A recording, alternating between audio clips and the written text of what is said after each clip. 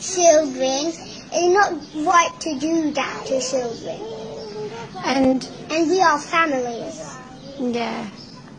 And does it happen every all the time? What It happens all the time.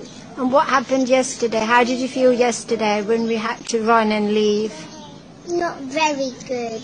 Okay. Were you scared? Yeah. Okay. And how does it feel that are you living at your home at the moment, Jenna? No. Okay, and how does that make you feel? Sad, I really miss my home, but I can't go. There's Okay. lots of bombing.